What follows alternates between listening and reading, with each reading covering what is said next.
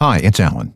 Before we get started, I wanted to let you know that this episode discusses suicide and suicidal ideation, and some people might find it disturbing.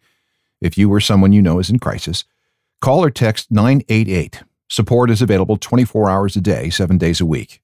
If you're in immediate danger or need urgent medical support, call 911. It is hard to disappear completely. With all the surveillance tools out there and the digital smog we leave behind, it's almost impossible to vanish without a trace. Yet it happens. We still haven't found Amelia Earhart, who has been missing since 1937 when she tried to fly around the world.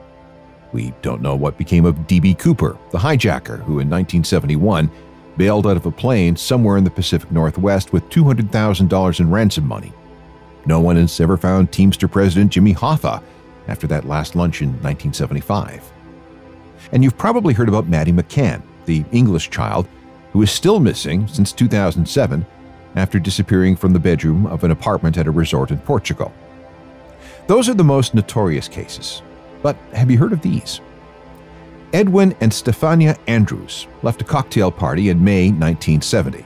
They were last seen turning the wrong way on a one way street and were never heard from again. That case is still open.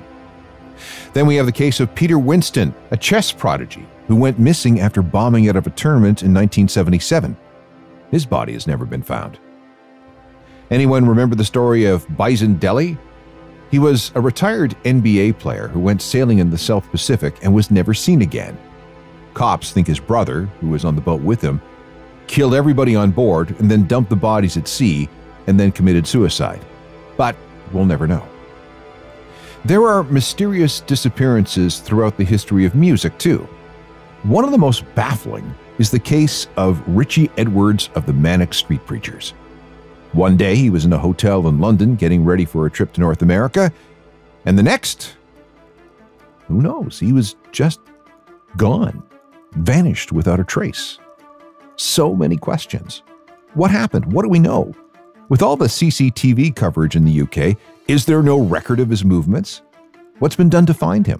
Where's the body? Or could he still be alive? Did he just figure out how to disappear completely? Or did something else happen? Oh, have I got a story for you. This is the mysterious disappearance of Richey Edwards from Uncharted Crime and Mayhem in the Music Industry.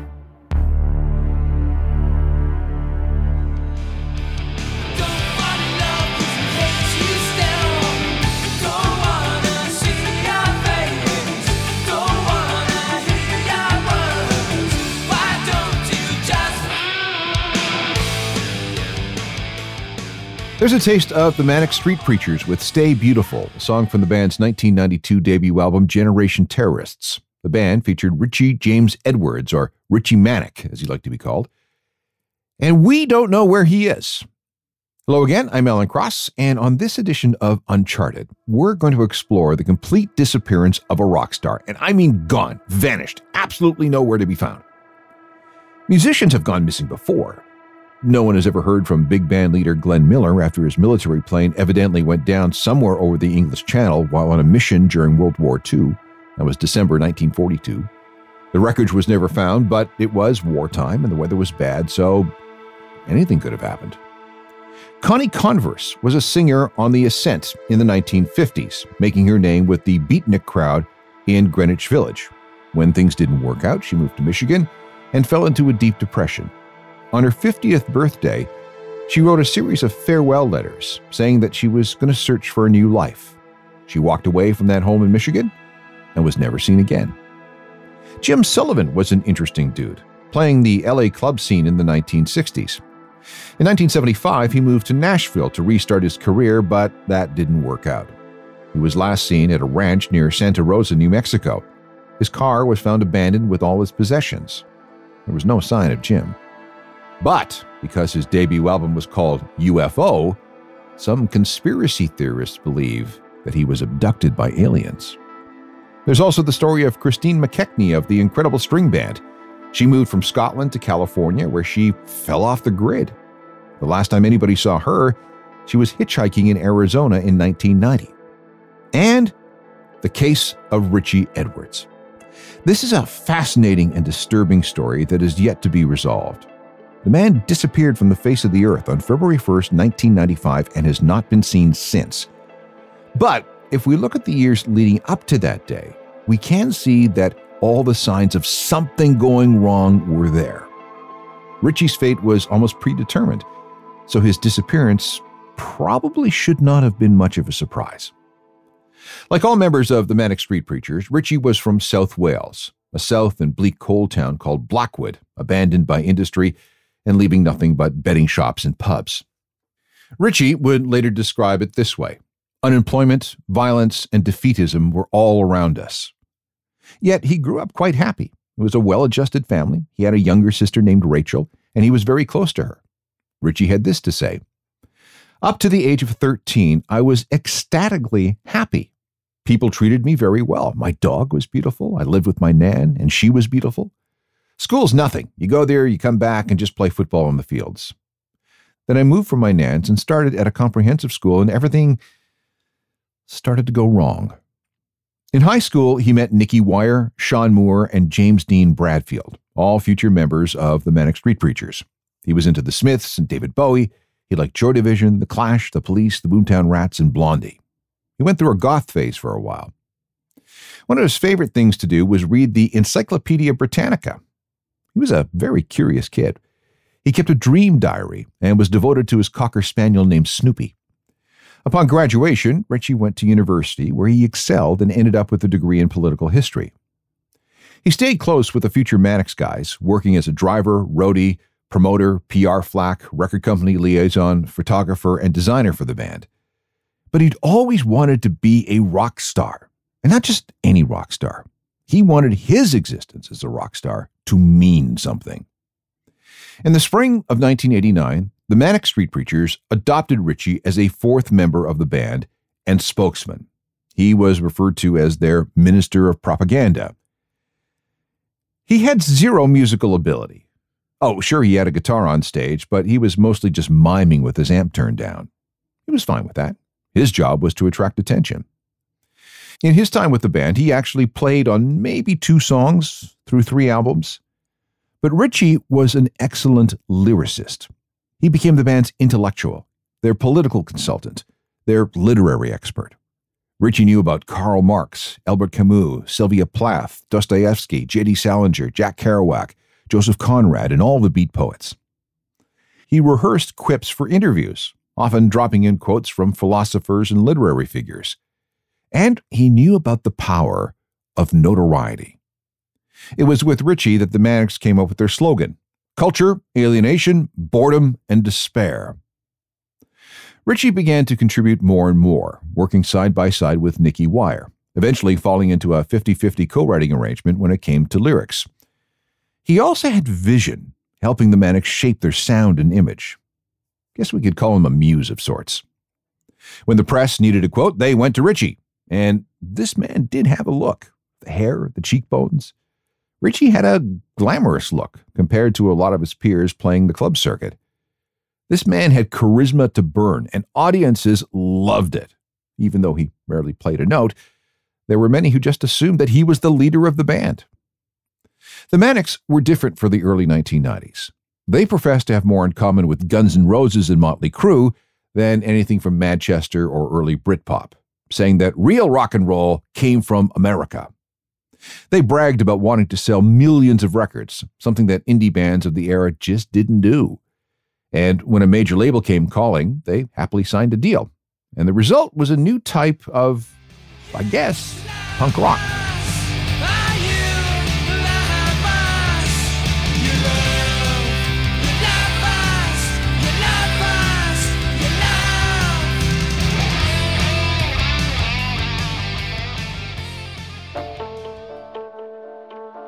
Richey, however, had his demons.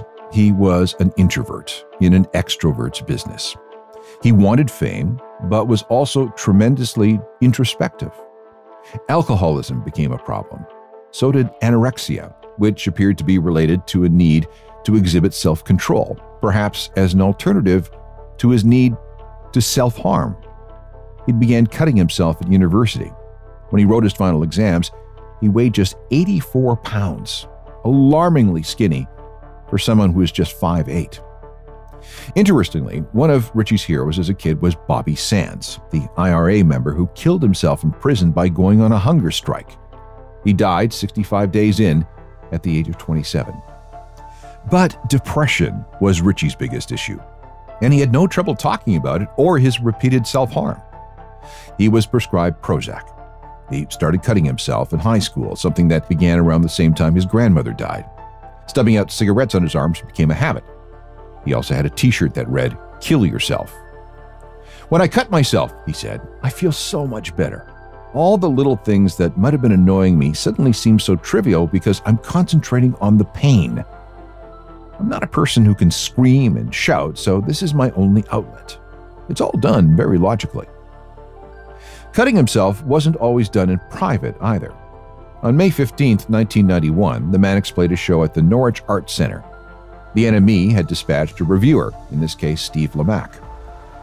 This was an interesting choice by the paper because there had been some friction between the Manics and Lamack. He'd been an early supporter of the group, but things kind of went south after he gave one of their early gigs a poor review, saying that, I just don't think a lot of people think you're for real. After the gig in Norwich, Lamacq conducted an interview with the band. Lamacq probed the members. Are you serious about what you're doing? Do you think you can make a difference with the way you're doing things? Are you the real deal? When the main interview was over, Richey asked for a word with Steve. While stating his position and that of the band, Richey pulled out a razor blade. I mean, who carries a razor blade with him? And he carved the words for real into his forearm. Blood gushed everywhere, but Richey insisted on talking. Here's a quote from Lamacq's biography. In the end, the conversation was going around in circles, and Richey's arm was beginning to look uncomfortably gory. The blood from the first cut had started to trickle down his arm the moment he'd finished it. Until I saw the photos the next day, I didn't know what he'd written because it was obscured by the blood. We'd better do something about that. You're going to mess the carpet up, I said. It took 17 stitches to repair Richey's arm. A photographer from the NME was there, and he captured all the gore. Back at the paper's offices, there was a big argument as to whether they should publish that photograph. That discussion was recorded and later released on the B side of a Manics single. It was called Sleeping with the NME. Let me give you an excerpt. Oh, there we are. Thursday morning, just walked into the NME immediately. Big buzz going around. Andrew Collins sitting here saying, Oh, something's happened. And what is it? The thing that's happened, right, is that last night Steve Lamacq went up. Where did you go? Norwich. You went to Norwich to do a planned live review stroke feature on the Manic Street Preachers, right? Certainly wasn't what I was expecting was going to happen. And uh, anyway, Steve's a bit suspicious of them, so it was going to be this sort of not a backlash, but he was going to suggest that maybe they're not all they're cracked up to be. And anyway, went up there, saw the gig, You won't get much, you won't get much coherent sense out of me, I'm afraid. and um, you know what they're like. They're these sort of young punks, basically, sort of return of punk. And a lot of people are very suspicious of them, think they're all sort of just faking it in slogans and trying to get rich and famous, and they're not really being serious. So Steve did half an hour of chat with which one was it? Richey. Yeah. Richey. You know, we were supposed to sort of hate each other and everything. I was a bit nervous, I suppose. And after this half hour of chat, after which they agreed to disagree, you know, Steve says, I'm not convinced by you. Well, you know, fair enough. We'll leave it at that. Um, he said, Do you want to tell him or just... No. no I'll tell him. Richey said, um, you know, you got a minute, can we come back, come backstage. Just one, you know, one thing, one last thing I'd like to say. And um, so we went backstage, and um, you know, I said, you know, I just don't think a lot of people will think you for real. And um, he um, got, a, I don't know where he got it from. He got, a, he got a razor blade, and uh, wrote for real um, on his arm, down the side of his arm, uh, while I was standing there watching him. And uh, that's about it, really. So, like, this is quite interesting already. This is good. This is good story. We, I mean, we actually said like at the time, you know, believe me, we are, for, we are for real, and we're not the next Birdland. And we sort of carried on talking for about another three or four minutes. And uh, but by that time, he was like dripping blood all over the floor. You know, it's beginning to stain the carpet a bit. And uh, million, everybody will have a reaction to this story. Uh, he said, unfortunately, Ed Sirrs didn't get any pictures of it. I just, you know, I had to, I had to wind it up. Um, went out and, um, you know, found the manager, told him to get backstage pretty damn quick. So we think, oh, never mind, tell the story, Steve. So the page that he was going to go on will be taken up with his story. Then Ed Sirrs arrives with colour pictures of this awful event. So Roddy's rushed around and lashed some bandages around him, and I whipped the camera and they took the bandages off for me right, very quickly so that they could have it. So he actually said, "Oh, I'm going to take the." Oh, oh yeah, I, I didn't have to suggest it. Close up, nasty, gory pictures of this blood, and it's an appalling picture, and everybody's running around, getting upset and appalled and excited. He actually said, "Do you want to photograph this?" So yeah, I better take the bandages off. It had just been put on, and so it was mint. So you got a mint wound. Oh yes. And uh, question is, can we print this picture? Because it is really horrible. I find it extremely horrible. He's upset. People down there are upset. Grown people are upset by this picture. It is an horrible picture. Danny, as I say, Danny's in a meeting. He hasn't seen it yet. He's going to be jumping around. You know, it's it's a bit of news, even if you could say it's trivial. Like I say, within our little world, it is not trivial. It's quite a thing. How do you feel about all this? Uh, I don't really think I've quite um, got over the shock of it, really. Um, Do do you in any way regard it that you may be responsible for that in any way? Because he did it for you, almost. no, not really. Uh, he chose. He chose to do it. He chose to make his point in that way. I don't think, you know, I don't. I don't find it kind of feel guilty about the fact that he's done it. You know. Don't know. It's been one hell of a week now. Richey was reportedly pleased with the coverage, although he was disappointed that it wasn't enough to get the band on the cover of the NME. After the For Real incident, things began to spiral quickly. Richey was back to having an eating disorder, something that inspired the song Four Stone, Seven Pounds on the band's Holy Bible album. The For Real self mutilation incident did not help with the Manic's reputation either.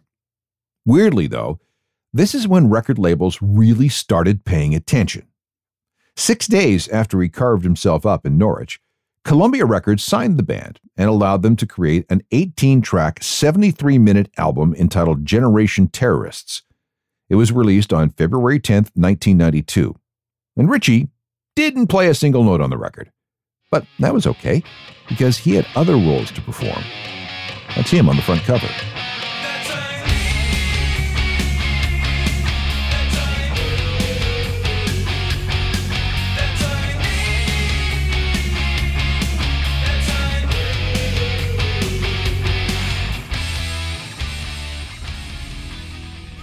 Even as the Manic's career started to take off, things were not good for Richey. He had always suffered from insomnia and used alcohol to get to sleep. That resulted in a trip to rehab. He spent time in two different facilities. When he was discharged, he seemed distant, isolated, even from his bandmates. A close friend of the band then died of lung cancer. Interviews grew darker. In one, he spoke of feeling unloved and doomed to a life of loneliness. Here's a quote I've never had any long relationships.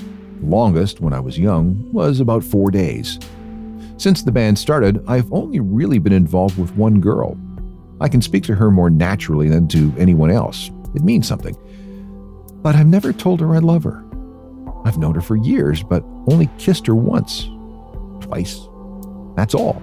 How can I explain? When I love somebody, I feel sort of trapped. Still, Richey and the band moved forward. A second album entitled Gold Against the Soul came out in the summer of 1993. The artwork for that one was based on a painting by Yukio Mishima, the leader of a radical Japanese political group. On November 25, 1970, Yukio ordered his followers to ritually behead him, which they did. The album itself features themes of loneliness and despair. Gold Against the Soul was followed by a third record called The Holy Bible in August 1994, which covered topics like the death penalty, prostitution, political revolution, and suicide. By this time, Richey was even in rougher shape. Hints about his depression, drug use, alcoholism, more self harm, and his anorexia can be found all through that album. People around him and the band were quite frightened for his well being. Like I said earlier, there's a song on the album entitled Four Stone Seven Pounds. That's the equivalent of 63 pounds or 29 kilos, the weight below which death is considered to be medically unavoidable for someone suffering from anorexia. Richey was the lyricist for that one.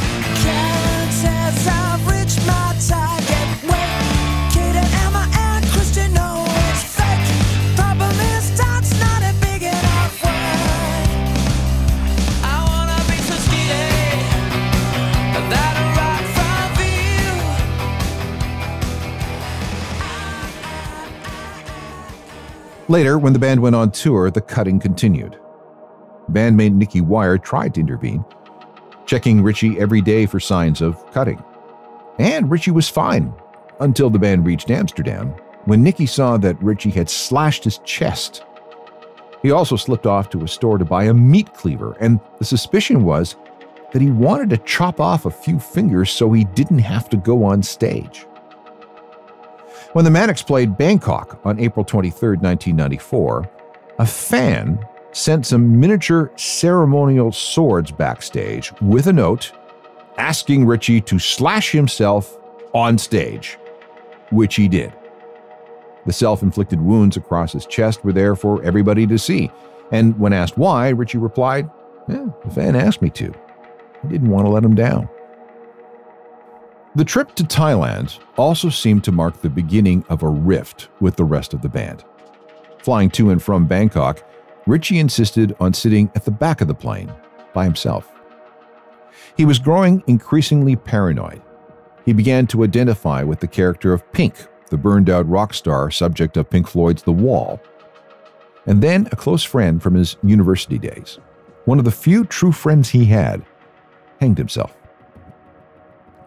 Richey's mental and physical condition continued to slip. He isolated himself more and more from everyone around him. He was having a mental collapse.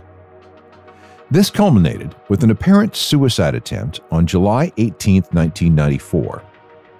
He phoned his parents, who raced over to his apartment to find him lying in the bathtub with blood seeping out of his arms. He was stoned and he was drunk. They got Richey to the hospital on time. After his wounds were treated, a psychiatrist was called in to consult. The family was told he was suffering from severe depression. They convinced him to voluntarily check himself into a psychiatric hospital. They did. On July 19, 1994, Richey was admitted in a general ward with 25 other beds with little privacy. Doctors were alarmed at the self harm injuries. Richey admitted he no longer had any control. He offered to leave the band, but then changed his mind. On July 28, 1994, he was moved to Priory Hospital, a renowned rehab facility in London popular with the celebrity set. Richey was deemed one of the more complex cases and was prescribed a six week stay. He was enrolled in a 12 step program. He was put on the maximum allowable dose of Prozac. He was given a strict schedule that ran from 8:30 in the morning until 9:30 at night and involved everything from private counseling to yoga to flower arranging. Meanwhile, the band continued to play gigs throughout the summer of 1994, largely to help with Richey's mounting medical bills. When asked about Richey's whereabouts, James Dean Bradfield told a reporter that Nicky went bonkers. Something just flipped in his head. It was dramatic. Two weeks into his stay at the Priory, Richey was diagnosed with borderline personality disorder, a newly named condition at the time. It summed up so many of Richey's problems issues with personal identity, difficulty with friendships, career choices, sexuality, and other things central to a person's being. It can result in that person detaching from reality, slipping into disassociative states. Richey seemed unimpressed with the diagnosis, calling it lazy. Another diagnosis that came later was Asperger's, which we now know as a form of autism, which would explain a few things, including Richey's laser focus and his insistence on strict routines. His weight dropped further, and he kept cutting himself, saying that the only way out of his emotional pain was to distract himself with physical pain. And this is interesting. Richey would often talk to visitors of an old 1970s TV show called The Rise and Fall of Reginald Perrin. Reginald Perrin was a successful executive who faked his own death during a midlife crisis. Richey also became obsessed with Apocalypse Now, especially how Marlon Brando disappeared after the picture wrapped, moving to an island in the South Pacific for the next 10 years. Richey was discharged from the Priory on September 8, 1994. Two weeks later, he was back on the road with the Manics. He was better, but still very emotionally fragile, veering from hopefulness to hopelessness. He was smoking 65 cigarettes a day and powering himself with 30 cups of coffee to counteract the half bottle of vodka he habitually drank.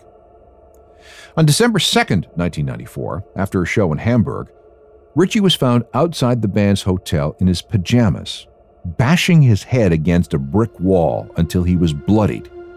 He was moaning, I want to go home. I want to go home. The tension within the band was intense, and it was decided to end the European part of the tour.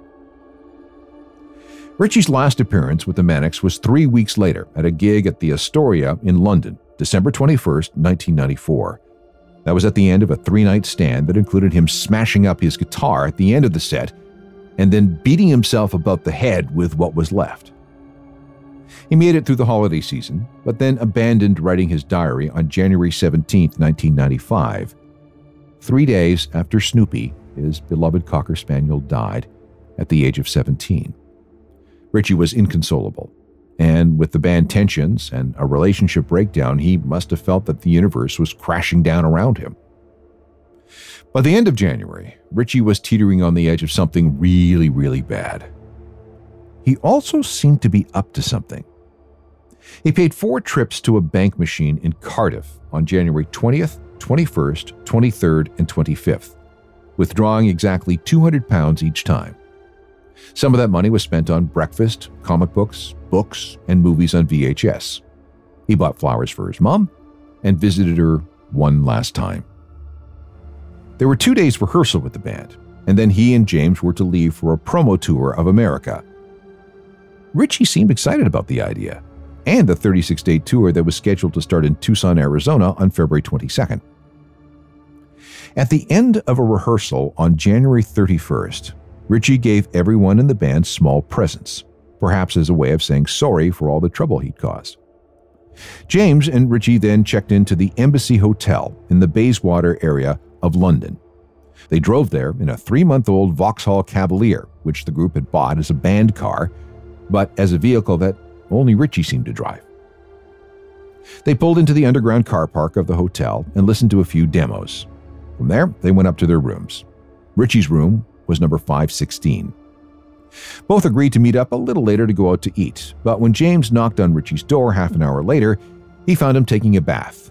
He said he changed his mind and was going to spend a quiet night alone. That was about 8:30 p.m., January 31st, 1995. James Dean Bradfield may have been the last person to see Richey alive. This brings us to February 1st, 1995. What happened? Well, we'll explore that next.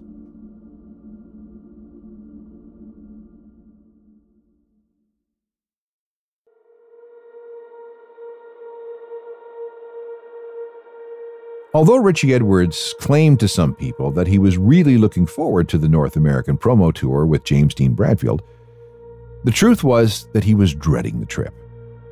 After he and James parted at the Embassy Hotel on the evening of January 31, 1995, Richey spoke to his parents on the phone, and there was nothing unusual about the conversation. It then appears a guest dropped by his room, a mysterious woman named Vivian now, she may have been a former fan turned friend. This is according to Richey's sister Rachel, who has doggedly been trying to piece together the last hours of her brother. In any subsequent investigations into Richey's appearance, no one has been able to track this Vivian woman down. Did she stay and leave, or did she and Richey leave the hotel together? And what's this rumor that Richey asked her to take his passport because he wasn't going to need it anymore? Hold that thought for a second because we'll come back to it. On the morning of Wednesday, February 1st, 1995, James Dean Bradfield got up as usual and went down to the lobby to wait for his bandmate sometime after 9 a.m. When Richey failed to show up, unusual given that Richey was almost always punctual, James went up to room 516 and knocked on the door. No answer. Fearing something that was wrong, he went back to the front desk and convinced a member of the staff to unlock the door with a master key. When they got inside, no sign of Richey. There was a packed suitcase. The bathtub was full of water. There was a gift box, carefully wrapped and decorated with literary quotes and a collage of pictures. It was addressed to a former girlfriend, containing videos, books by Tennessee Williams and Friedrich Nietzsche, among other things. There was a selection of photographs and a note that said, I love you. Some close to him suggest that the existence of this present meant that he had been planning to disappear for some time. There was another book involved.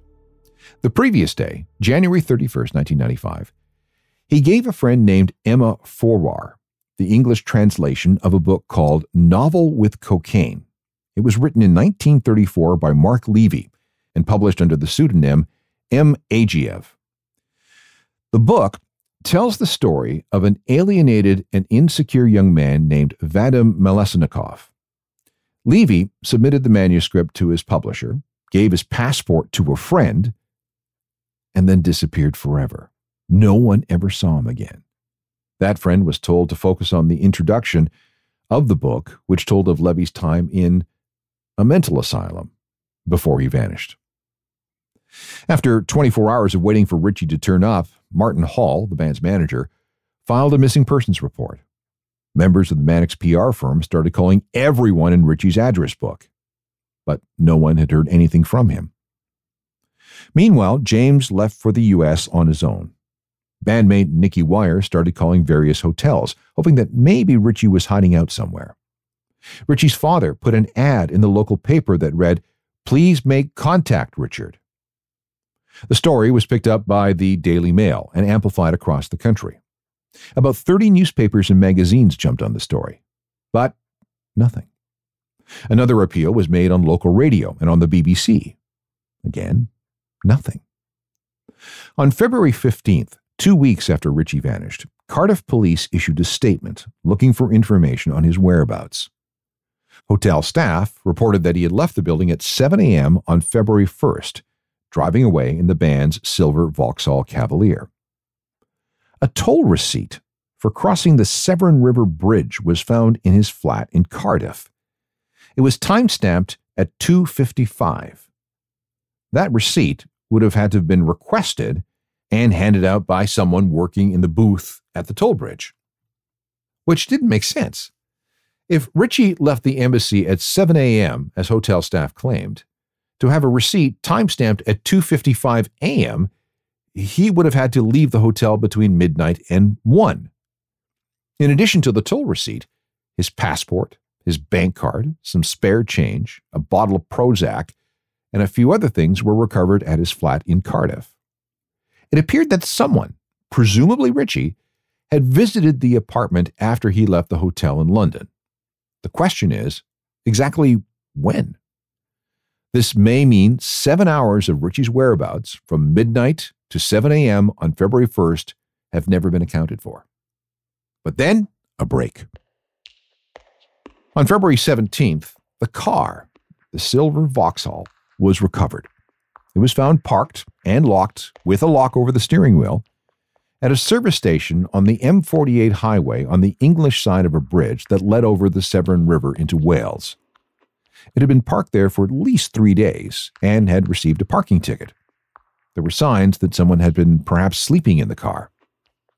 Inside were pictures of Richey's family that dated back to the previous Christmas, some of Richey's medication, and a Sex Pistols cassette in the tape deck. The car's battery was dead. An empty wine bottle was found, which was odd given that Richey hadn't had a drop to drink since leaving rehab the previous year and there was no receipt among all the rubbish in the car showing that anyone had bought that bottle of wine. Strangely, the state and the contents of the car were never investigated by police. The cops did investigate his bank statement for clues. They found those previous 200 pound withdrawals from a bank machine and two subsequent withdrawals. The total amount from the last two weeks was 2,800 pounds. So, why was Richey stockpiling cash? They saw some purchases, but nothing out of the ordinary. So, that was more or less another dead end. On February 25th, a little more than three weeks after Richey failed to show up in the lobby for the trip to America, police searched the home and back garden of his mother and father. It was a surprise visit at 3 o'clock in the morning, which was strange. And of course, they found nothing. Meanwhile, tips from the public were pouring in from people who claimed to have seen Richey. There was a report of a fan with Richey outside the bus station in Newport, Wales. After a quick conversation, Richey got into what looked like a silver Vauxhall and drove off. Another report came from a Newport taxi driver who says that he picked up someone who might have been Richey at the King's Hotel in Newport on February the 7th. Richey asked to be taken to several places before he was dropped off at the same service station where the Vauxhall was later found. There was another report that someone may have seen Richey hitchhiking. That sighting was investigated, but was dismissed as a case of mistaken identity. And then on March 4th, a tip faxed to the offices of the NME said that Richey was staying in an apartment in Irvine, Scotland, which is southwest of Glasgow. A tattoo artist in Cardiff claimed that Richey had gone to Israel to live in a kibbutz. Heading off to the Holy Land was something that Richey had talked about quite a lot. Sinead O'Connor got involved, telling police that she believed that Richey had gone to visit a schizophrenic fan in Hereford, which is south of Birmingham. A German fan claimed to have received a postcard from Richey. She says it was mailed from London on February 3rd, but she refused to give it to the police for examination.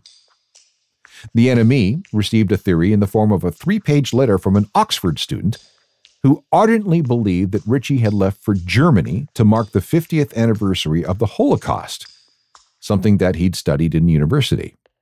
A few days after that, a 16 year old girl claimed to have seen Richey on a street in Yorkshire.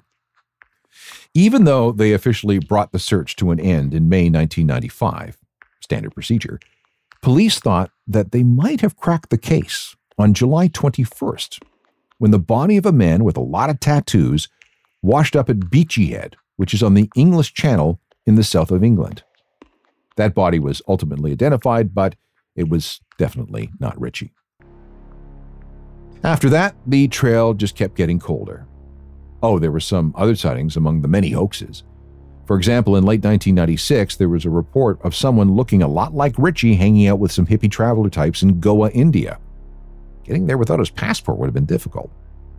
In November 1998, a waitress working in a bar in the Canary Islands says she was on duty when a customer shouted to another, You're Richey from the Manic Street Preachers. The person being shouted at immediately ran for the door. About a month later, Richey's family received a letter from a woman on another of the Canaries describing a man playing a guitar on the street who really could have been Richey. Four years later, in 2004, there was another Richey sighting on that same island. Nothing came of that either. So we come back to our original question What happened to Richey Edwards? Some theories in a moment.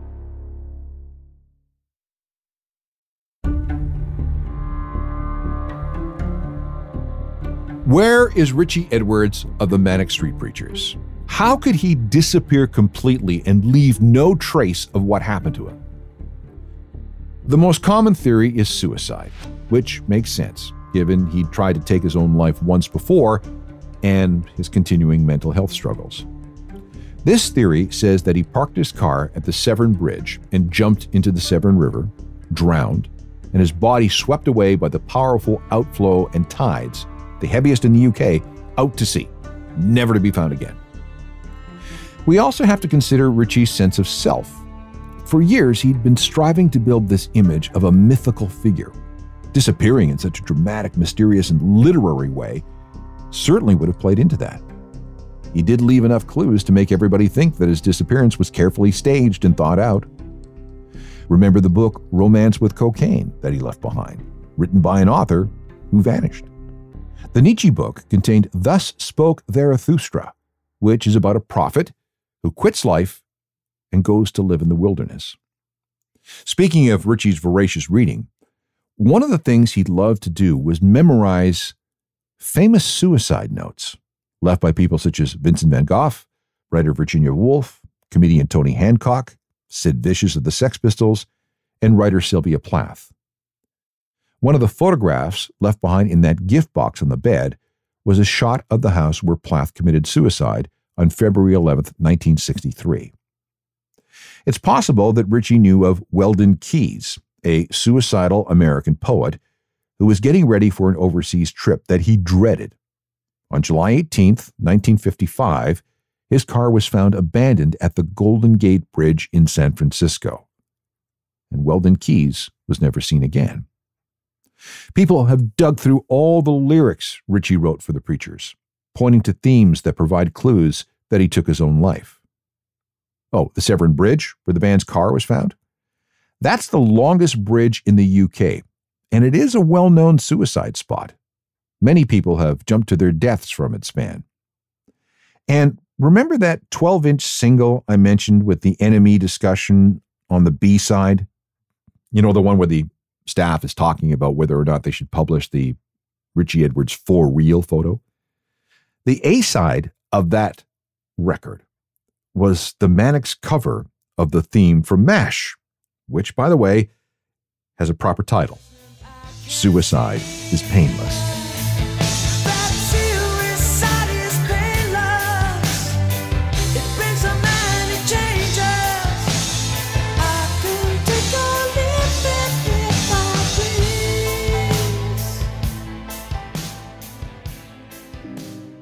Richey's fans, friends, and bandmates held out hope for years that he might turn up. He never did, of course. He was declared dead by his family on November 24, 2008. The age of his death was listed as, you guessed it, 27. But that hasn't stopped his sister Rachel from looking for answers. Why did the police not interview James Dean Bradfield about Richey's state of mind in the hours after his disappearance? Why was there no follow up to the mysterious woman named Vivian who apparently visited Richey in his London hotel room?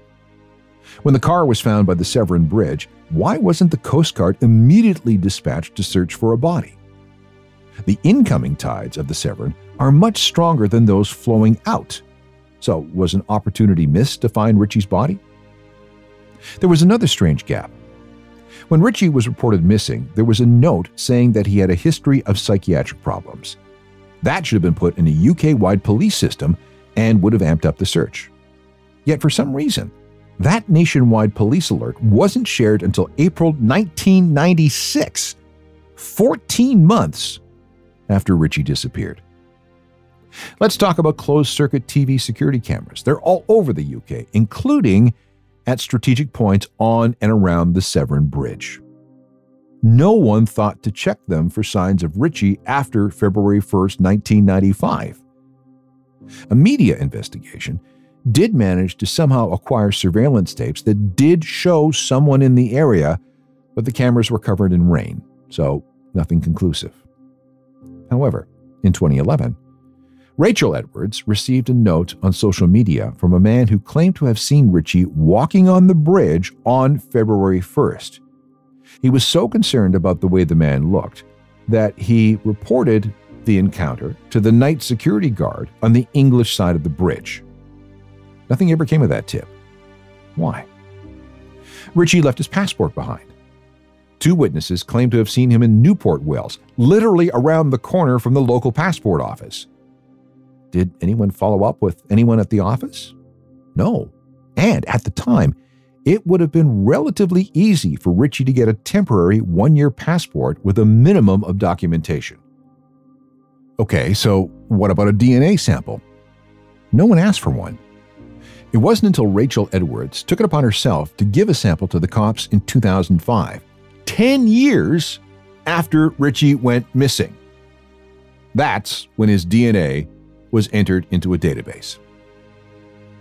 There's the possibility however remote, that Richey somehow ended up the victim of foul play. Maybe he was mugged and then murdered. We can only speculate about that. Or perhaps he suffered some sort of accident. Or maybe he is still alive, having escaped somehow to somewhere.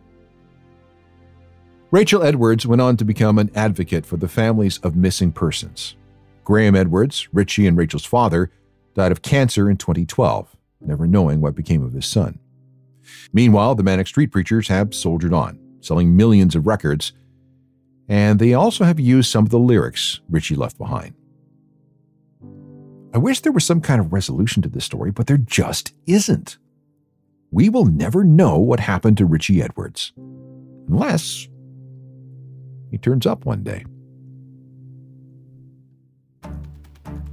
You can catch all episodes of Uncharted by downloading them from your favorite podcast platform. Please rate and review if you get a chance. If you have any questions or comments, shoot me an email, alan at alancross.ca. We can also meet up on all the social media sites, along with my website, a journal of musical things.com. It's updated with music news and recommendations every day. And don't forget about my other podcast, The Ongoing History of New Music. There are hundreds and hundreds of those that you can listen to whenever you'd like. Join me for more stories of crime and mayhem from the world of music on Uncharted. Technical productions by Rob Johnston. I'm Alan Cross.